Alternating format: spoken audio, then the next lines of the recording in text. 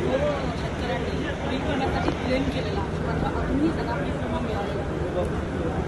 आहे पीक विम्याच्या भानगडीत जसं पी एम किसान आहे तसं पीक विम्याचं आहे कृषीमधला बियाण्याचा विषय आहे.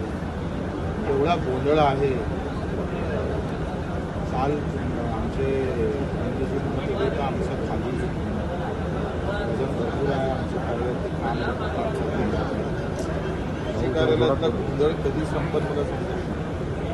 म्हणजे वेळेवर बियाणं न भेटणं बियाणं भेटलं तर ते चांगलं न भेटणं खताची मारामारी होणं पीक विम्याचे तेच प्रॉब्लेम आहे. एम किसानचे ते प्रॉब्लेम आहे. या संदर्भात मला वाटते कायमची एक उपाययोजना आपण केल्या पाहिजे सरकारनं. नाहीतर लोक मग कार्यालय हाती घेतल्याशिवाय राहणार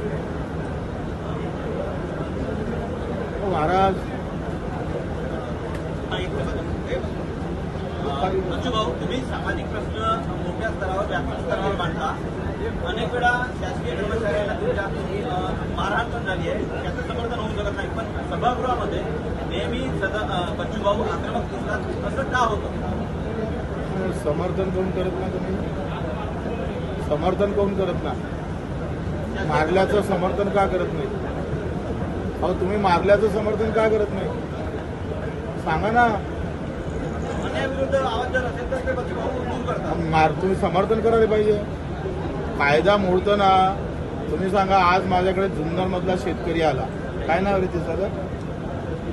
जुन्नर मधला त्याची चार वर्षापासून जमीन आणि घर पाण्यात गेलं. चार वर्षापासून. तो आमदाराकडे तीन गाव गेला गावित साहेबाकडे दोन गाव गेला आदिवासी शेतकरी आहे. त्याचे वडील मरण पावले एक भाऊ ऐंशी टक्के दिव्यांग आहे. आणि आज त्याला तीन वर्षापासून शेती चार एकर पाण्यात गेली.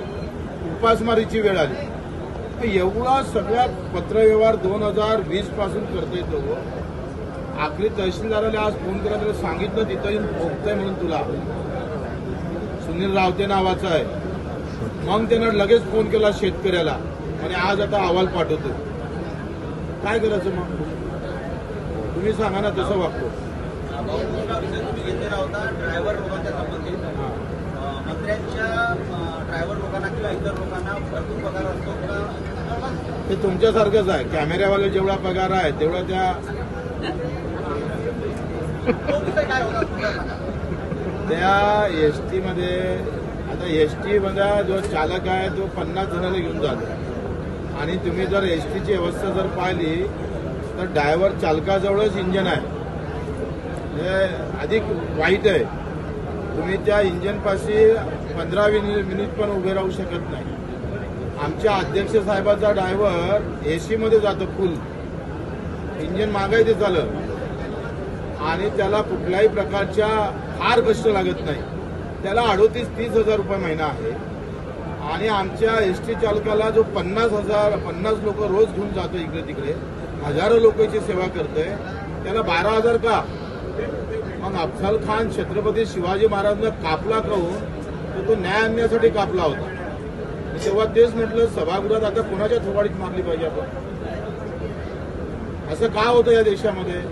तुम्ही सांगा चांगला खेळाडूनं जर सुवर्ण पदक आणलं तर एक कोटी भेटते. आणि दिव्यांगानं सुवर्ण पदक आणलं तर तीनच लाख भेटते. ही विषमता आहे देशामध्ये. तुम्ही टीव्हीवाले कधीच दाखवत नाही. एकशे पंचवीस दाखवलं? एकशे पंचवीस कोटी रुपये भारताच्या टीमला मिळणार आहेत याकडे क्रिकेट म्हणजे सगळ्या खेळाडूचा जवई आहे.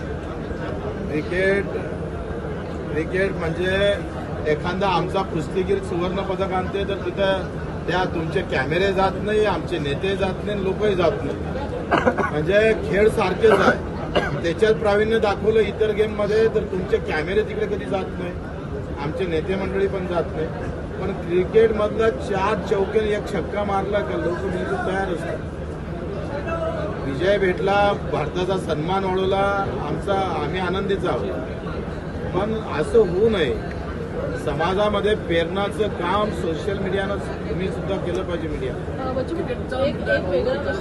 आज मुंबईमध्ये येते. मात्र गुजरातची बस ही त्यांच्यासाठी वापर येते बेस्टच्या बस ताफ्यात. बस नाही का? असा सवाल आता काय प्रतिक्रिया आहे? याच्या बेस्ट बस चांगल्या आहे आपल्यापेक्षा. एक एक राजकीय प्रश्न आहे. नुकतंच तुमच्या आणि राजू शेट्टींची बैठक झाली. विधानसभेच्या दृष्टीनं काही रणनीती असणार आहे का? राजूजी शेट्टी आणि आम्ही बसलो आहे. आज आमची बैठक झाली. धीरे धीरे सगळे लहान मोठे जे कार्यकर्ते आहेत त्यांना एकत्रित करून मूठबांधणी करण्याचा प्रयत्न आम्ही करतो आहे.